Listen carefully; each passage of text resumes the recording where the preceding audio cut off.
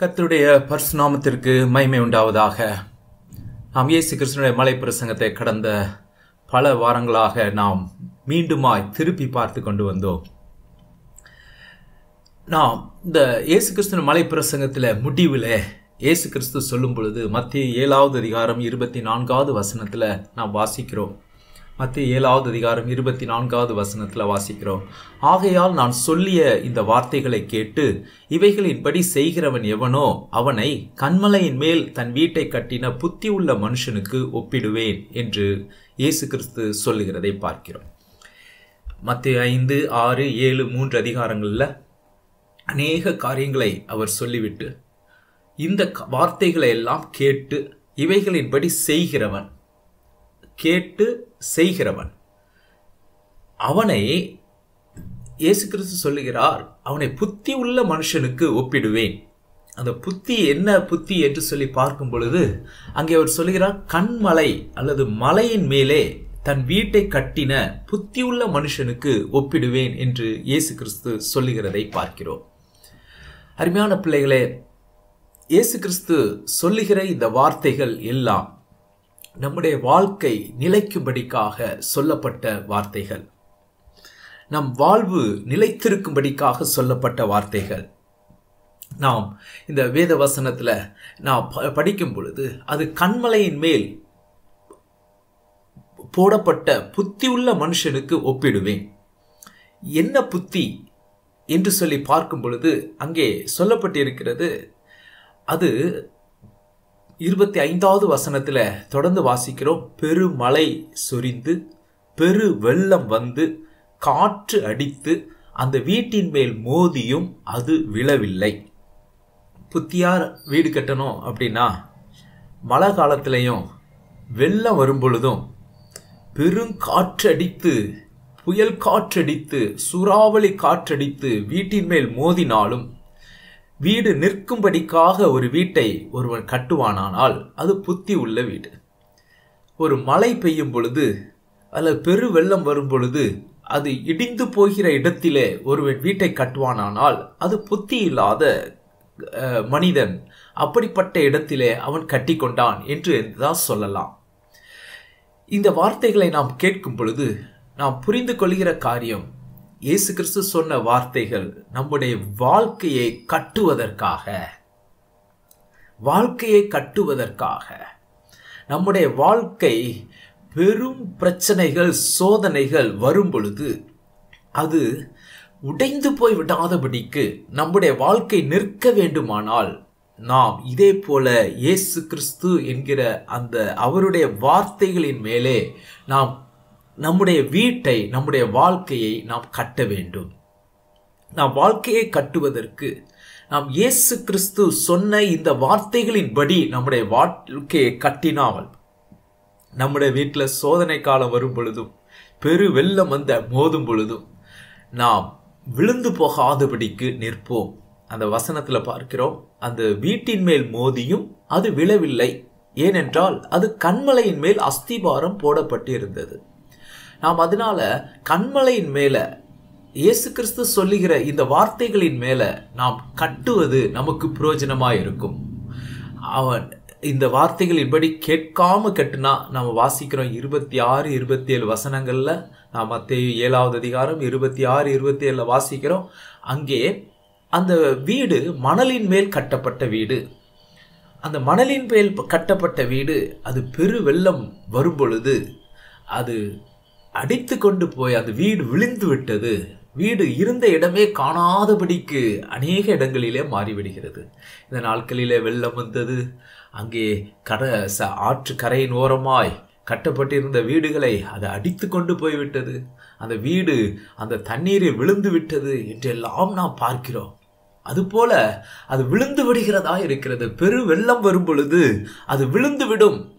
அப்படி விழுந்து விடாமல் இருக்க இருப்பதற்காக தான் இயேசு கிறிஸ்து இந்த வார்த்தைகளை எல்லாம் நமக்கு கற்றுக் கொடுத்திருக்கிறார்.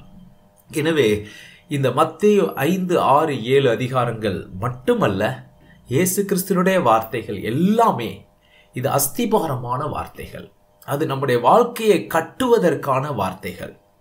அது ஏதோ ச- நல்ல வார்த்தைகள் அது நல்ல நல்லா இருக்கும் அதை செஞ்சா அப்படிங்கிறது மட்டுமல்ல. இயேசு கிறிஸ்து சொன்னதுபடி வாழ்ந்தால் அது நல்லா தான் இருக்கும். அப்படின்னு சொல்லி இல்லை.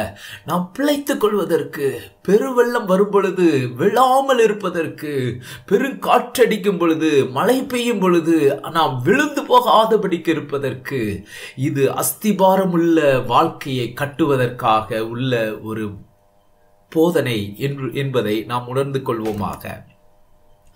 நாம் இயேசு கிறிஸ்துடைய போதனையில் நாம் மத்திய ஐந்து ஆறு ஏழு என்கிற இந்த பகுதிகளில் நாம் கற்றுக்கொண்டதை நாம் மறந்தே போக வேண்டாம். நாம் பாக்கியவான்களாக இருப்பதற்கு அவர் சொல்லியிருக்கிறார். அந்த பாக்கியத்தை நாம் அடையும்படிக்காக ஆவியில எளிமை உள்ளவர்களாய் ஆரம்பித்து நீதி நிமித்தம் துன்பப்படுகிறவர்களாய் காணப்படும் வரைக்கும் நாம் பாக்கியவான்களாய் இருப்போமாக. நாம் உலகத்திற்கு உப்பாக வெளிச்சமாக காணப்படும்படிக்காக நாம் காணப்பட இருப்போமாக. நாம் இயேசு கிறிஸ்து சொல்லிக் கொடுத்தது போல நான் உங்களுக்கு சொல்லுகிறேன் என்று சொல்லி சொல்லிக் கொடுத்த வார்த்தைகளை நாம் உணர்ந்து ஹலலுயா நம்முடைய சொந்த புத்தியில தோன்றுகிறன்படி அல்ல இயேசு கிறிஸ்து நமக்கு சொன்னதின்படி நாம் வாழ்ந்து நாம் இப்படிப்பட்ட பாக்கியங்களை நாம் பெற்றுக்கொள்வோமாக. மூன்று நீதிக்கிரிகளாகிய தர்மம் செய்தல் ஜெபம் பண்ணுதல் உபவாசம் செய் இதை நாம் விட்டு விடாமல் இருப்போமாக.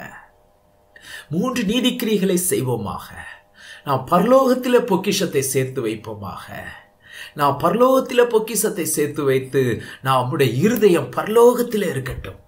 ஹalleluya பூமியிலே இருக்கிற பணத்துக்கும் தேவனுக்கும் நாம் ஊழியம் செய்வது நம்மால் கூடாத காரியம். ஹalleluya அதே போல நாம் இந்த பூமியில கவலைப்படாமல் இருப்போம். பரலோகத்தில் பொக்கிஷம் இருக்கிறபடினாலே நமக்கு வேண்டியது எல்லாம் கூட கொடுக்கப்படும் என்பதினாலே நாம் கவலைப்படாமல் வாழ்வதை கற்றுக்கொள்வோம். ஹalleluya. இன்னும் மத்திய ஏழாவது அதிகாரத்துல மற்றவர்களை குற்றவாளிகள் என்று சொல்லி சொல்ல வேண்டாம். நம்முடைய குற்றங்களை உணர்ந்து நாம் மனம் திரும்புவதற்காக பிரயாசப்படுவோம். ஹalleluya. நம்முடைய குற்றங்கள் அது உத்திரம் போல இருக்கிறது என்பதை உணர்ந்து நாம் மனம் திரும்புவதற்கு பிரயாசப்படுவோம். ஹalleluya. ஆண்டவர் நிச்சயமாய் நாம் கேட்கிறவைகளை எல்லாம் கொடுப்பார். கேளுங்கள் கொடுக்கப்படும். ஹalleluya. கேட்கிற எவனும் பெற்றுக்கொள்கிறான். இதை நாம் மறந்தே போய்விட வேண்டாம். இதெல்லாம் அடிப்படை நம்முடைய வாழ்க்கைக்கு. அடிப்படையான அஸ்திபாரமான காரியங்கள். இப்படிப்பட்ட நம்பிக்கை கேளுங்கள் கொடுக்கப்படும் என்கிற நம்பிக்கை நமக்கு இல்லாவிட்டால் எப் எப்படி நாம் தைரியமாய் அடுத்த நாளை நாம் பார்ப்பது? ஹalleluya எனவே கேளுங்கள் கொடுக்கப்படும் என்பதை நாம் ஒரு நாளும் விட்டுவிட வேண்டாம். பெரிய மழை வந்தாலும் வெள்ளம் வந்தாலும் ஹalleluya நீ வீட்டை அடித்து கொண்டு போகிறது போல காணப்பட்டாலும் ஆண்டவரிடத்தில் கேட்போம் அவர் நமக்கு கொடுப்பார். ஹalleluya நாம் கனி கொடுக்கிறவர்களாய் மாறுவோம். இதையெல்லாம் கேட்டு இதுபடி நாம் வாழ்ந்து அந்த இடுக்கமான பாதை நம்முடைய வாழ்க்கையில அதை கனி கொடுக்கிற அந்த இடுக்கமான பாதையை நாம் தெரிந்து கொள்வோம். ஹலலுயா நாம் பதிலுக்கு பதில் செய்கிறவர்களாக அல்லாதபடிக்கு நல்ல கனி கொடுக்கிறவர்களாக இருப்போம். நம்மை துன்பப்படுத்துகிறவர்களுக்காக கூட ஜெபம் பண்ணுகிறவர்களாய் நாம் மாறுவோம். நம்மை சபிக்கிறவர்களை ஆசீர்வதிக்கிறவர்களாய் இருப்போம். ஹலலுயா கனி கொடுப்போமாக. ஹலலுயா பதிலுக்கு பதில் செய்கிற கனி அல்ல. நாம் அப்படியாய் கனி கொடுக்கிறவர்களாய் நாம் காணப்படுவோம். கர்த்ததாமே. ஹலல்வியா இப்படிப்பட்ட காரியங்களை செய்து நாம் கர்த்தரே கர்த்தருக்குள்ளாக நாம் பலப்படுவோமாக. இயேசு கிறிஸ்துவின் மலைப்பிரசங்கம் நாம் நம்முடைய வாழ்க்கைக்கு என்று சொல்லி அஸ்திபாரமான போதனைகளாய் நமக்கு கொடுக்கப்பட்டிருக்கிறது. ஹலல்வியா இந்த வார்த்தைகள் பழைய ஏற்பாட்டு காலத்தில் சொல்லப்பட்டிருக்கிற நியாயப்பிரமாணத்தை நிறைவேற்றும் போதனைகள். இந்த போதனைகளுடைய தன்மைகள் பார்க்கிறோம். அது அஸ்திபாரமான போதனை. இதுதான் இது வந்து நியாயப்பிரமாணத்தை நிறைவேற்றும் போதனை. நியாயப்பிரமாணத்தை தள்ளிவிடுகிற போதனை அல்ல நிறைவேற்றுகிற போதனை. இந்த போதனைகள் பரலோக ராஜ்யத்தை குறித்த போதனைகள். இந்த பூமியில் எப்படி நல்லா வாழ்றது அப்படிங்கிற போதனை இல்லை. இது பர்லோகத்தில் ஹால லூயா நாம் சேரணும் அப்படிங்கிற ஒரு போதனை. இந்த பூமியில் எப்படிலாம் நம்ம வாழ எ- என்ன செஞ்சால் இந்த பூமியில் நம்ம ஆசீர்வதிக்கப்படுவோம் அப்படிங்கிற வார்த்தை அல்ல. இந்த பூமியில் இருக்கிறது எல்லாம் கொடுக்கப்படும். ஆனால் பூமியில் இருக்கிறது கொடுக்கப்படுவதற்கான உள்ள ஒரு போதனை அல்ல. பரலோ ராஜ்யத்தில் நம்மை நாம் எப்படி வாழ வேண்டும்? அதற்கேற்ற ஒரு வாழ்க்கை வாழ்வதற்காக பரலோ ராஜ்யத்தை குறித்த போதனையாய் காணப்படுகிறது. இந்த பூமியில் கையும் காலும் கூட இல்லாமல் போகலாம். ஆனால் பரலோ ராஜ்யத்திற்கு போகிறது தான் முக்கியம். ஹலல்வியா கை உனக்கு ச- உன்னை- நம்ம பாவத்தில் இழுக்கிறதா இருந்துச்சுன்னா அதை நமக்கு இச்சைக்குள்ளாக இழுக்கிறதா இருந்தால் கையை தரித்து போடு. ஹலல்வியா ஏனென்றால் க இரண்டு கையோட நரகத்துக்கு போறதை காட்டிலும் ஒரு கையோடு பரலோகத்திற்கு போவது நல்லது என்று சொல்லி பரலோகத்தை குறித்த ஒரு போதனைகள். ஹலல்வியா இது பிதா எப்படி நற்குணசாலியா இருக்கிறாரோ அந்த குணத்துக்கு ஏற்ற போதனைகள். ஹalleluya இது ஏதோ நான் ச- என்னை போல ஒரு உபதேசியார் வ- பிரசங்கம் பண்ணுகிறவர். அவர் சொல்லுகிற ஒரு அறிவுரை போதனை அல்ல இது அதிகாரத்தோடு உள்ள ஒரு போதனை. தேவனையே கொடுத்த ஒரு போதனை. ஹலல்லுயா தேவ அதிகாரத்துடனான போதனை என்பதை நாம் இந்த நாளிலே அறிந்து கொள்வோமாக. நாம் ஏற்கனவே அஸ்திமாரமான போதனை என்பதை நாம் கற்றுக்கொண்டோம். நாம் இரண்டாவதாக நியாயப்பிரமாணத்தை நிறைவேற்றும் போதனையாய் இது காணப்படுகிறது. நியாயப்பிரமாணத்தை நிறைவேற்றும் போதனை. பழைய ஏற்பாட்டு காலத்தில் கொலை செய்யாதிருப்பாயாக என்பதும் கொலை செய்கிறவன் நியாய தீர்ப்புக்கு ஏதுவாயிருப்பான் என்பதும் பூர்வத்தாருக்கு உரைக்கப்பட்டது என்று கேள்விப்பட்டீர்கள். மத்திய ஐந்தாவது அதிகாரம் இருபத்தி ஒன்று இருபத்தி ரெண்டில் வாசிக்கும் பொழுது அப்படி சொல்லியிருக்கு. ஆனால் நான் உங்களுக்கு சொல்லுகிறேன் தன் சகோதரனை நியாயமில்லாமல் கோபித்துக் கொள்பவன் நியாய தீர்ப்புக்கு ஏதுவாயிருப்பான். சகோதரனை வீணன் வேஸ்ட் உன்னால பிரயோஜனம் இல்லை வே வெட்டி. அப்படிலாம் சொல்லி சொல்லுகிற அப்படிப்பட்ட காரியங்கள் அவன் ஆலோசனை சங்க தீர்ப்புக்கு ஏதுவாயிருப்பான். மூடனே அவன் முட்டாள் அப்படின்னு சொல்லி சொல்லுவானா எரி நர நரகத்துக்கு ஏதுவாயிருப்பான். பழைய ஏற்பாட்டு காலத்துல கொலை செய்தால்தான் நியாய தீர்ப்பு ஆனா இங்க நியாயமில்லாம கோபித்துக் கொள்வன் கூட நியாய தீர்ப்பு உண்டு. ஹலல்வியா எனவே நியாயப்பிரமாணத்தை நிறைவேற்றுகிற இது போதனைகள். அது குறைவுள்ளது நியாயப்பிரமாணம் குறைவுள்ளது. ஆனால் இதுவோ அது நிறைவேற்றுகிறதாய் எழுதப்பட்டு இருக்கிறதை பார்க்கிறோம். மத்திய ஐந்தாவது அதிகாரம் பதினேழு பதினெட்டு வசனங்களிலே நியாயப்பிரமாணத்தை ஆகிலும் தீர்க்க தரிசனங்களை ஆகிலும் அழிக்கிறதற்கு வந்தேன் என்று எண்ணிக்கொள்ளாதீங்கள் அழிக்கிறதற்கல்ல நிறைவேற்றுவதற்கே வந்தேன். எந்த காரியம்? இந்த பூமியில் வானமும் பூமியும் ஒளிந்து போனாலும் நியாயப்பிரமாணம் எல்லாம் நிறைவேறும். இன்றைக்கு இயேசு கிறிஸ்து நியாயப்பிரமாணத்தை நிறைவேற்றி இருக்கிறார். ஹalleluya. பழைய ஏற்பாட்டு காலத்தில் மோசே எழுதின புஸ்தகங்கள் ஆதியாகமும் யாத்ராகமும் லேவியராகவும் எண்ணாகமும் உபாகமும் என்கிற அந்த ஐந்து புஸ்தகங்களை நியாயப்பிரமாண புஸ்தகங்கள் என்று சொல்லி சொல்வதுண்டு. விசேஷமாக யாத்ராகமத்திலிருந்து உபாகம் வரைக்கும் அது நியாயப்பிரமாணத்தை குறித்து எழுதப்பட்டிருக்கிறது. ஹலலுயா அந்த நியாயப்பிரமாண புஸ்தகங்கள் சொல்லப்பட்டவைகள் எல்லாம் நிறைவேறும்படிக்கு தான் இயேசு இந்த வார்த்தைகளை சொன்னாரே ஒழிய நியாயப்பிரமாணத்தை அழித்து போடுவதற்கல்ல ஹலலுயா இன்றைக்கு நியாயப்பிரமாணம் நிறைவேற்றப்பட்டது. நியாயப்பிரமாணத்தை காட்டிலும் மேலான ஒரு பிரமாணத்தை இயேசு கிறிஸ்து இந்த மலை பிரசங்கத்திலே நமக்கு சொல்லிக் கொடுத்திருக்கிறார். இன்னும் கூட அது வசனத்தில் வாசிக்கிற நியாய பிரமாணத்தை ஆகிலும் தீர்க்க தரிசனையா தீர்க்க தரிசனங்களை ஆகிலும் அளிக்கிறதற்கு வந்தேன் என்று எண்ணிக்கொள்ளாதீங்கள் மோசை எழுதின புஸ்தகங்கள் நியாய பிரமாண புஸ்தகங்கள். மற்ற புஸ்தகங்களும் பழைய ஏற்பாட்டில் இருக்கு.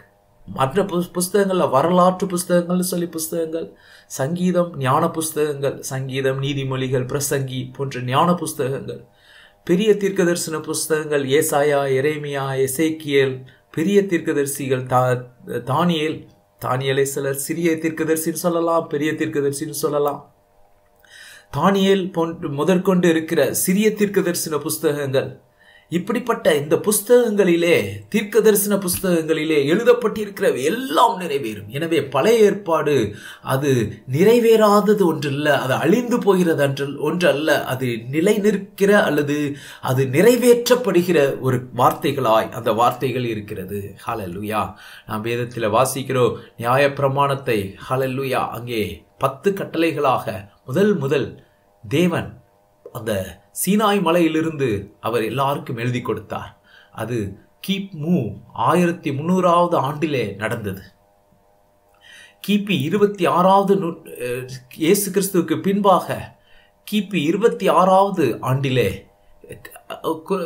தோராயமாக இயேசு மலைப்பிரசங்கத்தை அவர் செய்தார். அங்கே இயேசு கிறிஸ்து அதர்சனமானவராக சீனாய் மலையிலே வெளிப்பட்டு பத்து கட்டளைகளை கொடுத்தார். இங்கே இயேசு கிறிஸ்து ஒரு மனிதனைப் போல தரிசனமாகி மனிதனைப் போல பிறந்து வளர்ந்து அவர் இங்கே மலையிலிருந்து மீண்டும் வாயை திறந்து சொன்னார். எனவே சீனாய் மலையிலே சொன்ன நியாயப்பிரமாணங்கள். இங்கே இயேசு கிறிஸ்து அங்கே இஸ்ரேவேல் நாட்டில் ஒரு மலையிலிருந்து பிரசங்கம் பண்ணின வார்த்தைகள். இந்த இரண்டு வார்த்தைகளும் தேவனுடைய வார்த்தைகளே. அவர் நியாயப்பிரமாணத்தில் சொன்னவைகளை எல்லாம் அது இஸ்ரேல் மக்களுக்கு சொன்னார். இங்கேயோ இயேசுவின் சீஷர்களுக்கு அது சொல்லப்பட்டது என்று சொல்லி நாம் பார்க்கிறோம். எனவே அங்கே நியாயப்பிரமாணத்தில் சொல்லப்பட்டது பத்து கட்டளைகள். ஹலலுயா பத்து கட்டளைகளில் ஆரம்பித்து அநேக காரியங்கள் சொல்லப்பட்டது.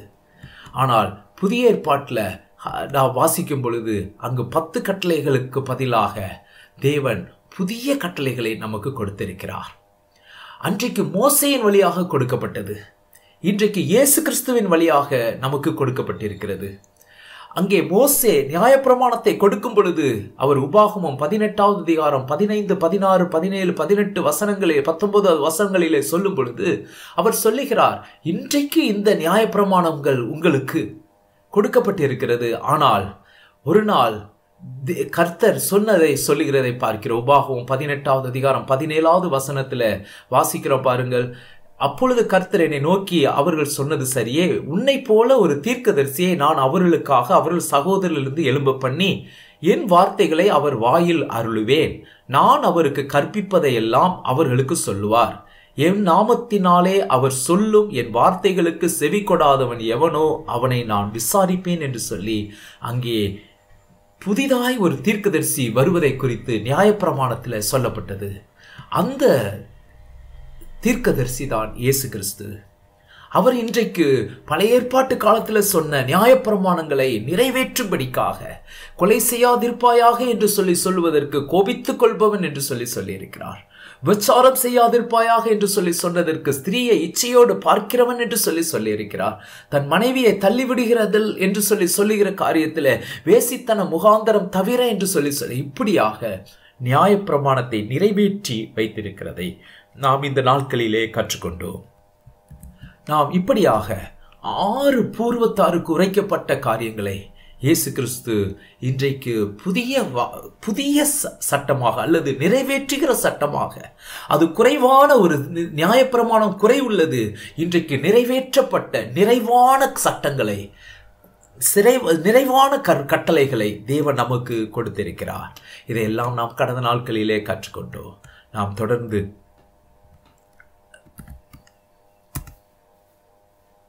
தொடர்ந்து நாம் பார்க்கும் பொழுது பரலோ ராஜ்யத்தை குறித்த போதனை என்று சொல்லி இந்த போதனைகளை குறித்து நாம் கற்றுக்கொள்ளலாம். பரலோ ராஜ்யத்தை குறித்த போதனைகள். அது ஏதோ இந்த பூமியில் நம்ம எப்படி வாழ்றது எப்படி பெரியவங்களாகிறது எப்படி பணம் சம்பாதிக்கிறது இப்படி குறித்த போதனைகள் அல்ல. இது எல்லாவற்றையும் ஆண்டவர் தருவார். ஆனால் நாம் கண்மலையின் மேலே போடப்பட்ட அஸ்திபாரமுள்ள வீட்டாய் இந்த பூமியில எந்த போராட்டம் வந்தாலும் விழுந்து போகாத ஒரு வீடாய் நம்முடைய வாழ்க்கை காணப்படும்படிக்காக சொல்லப்பட்ட போதனைகள். பரலோ ராஜ்யத்தில் நாம் பெரியவர்களாய் காணப்படும்படிக்காக சொல்லப்பட்ட போதனைகள். அலலுயா மத்திய ஐந்தாவது அதிகாரம் பத்தொன்பதாவது வசனத்தில் இந்த கற்பனைகள் எல்லாவற்றிலும் சிறிதா சிறிதானதொன்றையாகிலும் மீறி அவ்விதமாய் மனுஷருக்கு போதிக்கிறவன் பரலோ ராஜ்யத்தில் எல்லாரிலும் சிறியவன் எனப்படுவான். இவைகளை கை கொண்டு போதிக்கிறவனோ பர்லோ ராஜ்யத்தில் பெரியவன் எனப்படுவான். பார்த்தீங்களா?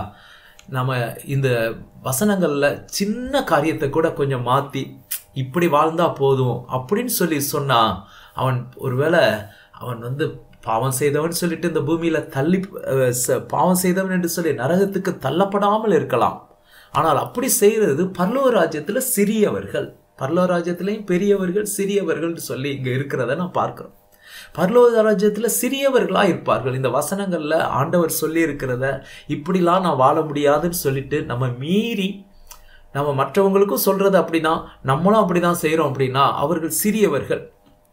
இவைகளை கை கொண்டு அதில் இருக்கிற மாதிரியே நானும் வாழ்கிறது மற்றவர்களும் அப்படிதான் வாழணும் அப்படின்னு சொல்லி சொல்கிறது அப்படி நான் இருந்தால் கைவைகளை கை கொண்டு போதிக்கிறவனோ பர்லோ ராஜ்யத்தில் பெரியவன் எனப்படுவான். அருமையான பிள்ளைகளே தீர்க்க தரிசனம் சொன்னவங்க பர்லோ ராஜ்யத்தில் பெரியவர்கள் அல்ல. யோவான் ஸ்நானகன் பெரிய தீர்க்கதரிசி. ஆனால் தேவனுடைய சித்தத்தின்படி செய்கிறவன் அவனை காட்டிலும் பர்லோ ராஜ்யத்தில் பெரியவனாயிருப்பான். ஹalleluya. பாருங்க இவைகளை கை கொண்டு இந்த வசனங்கள் அவ்வளவு முக்கியமுள்ளவைகள். ஹலல் நாம் ஏதோ சாதாரணமாக ஏதோ ஒரு பல எத்தனையோ உபதேசங்கள் போல இது ஒரு உபதேசம் இயேசு கிறிஸ்துடைய உபதேசங்கள். அது நம்முடைய வாழ்க்கைக்கு அஸ்திபாரமான உபதேசங்கள்.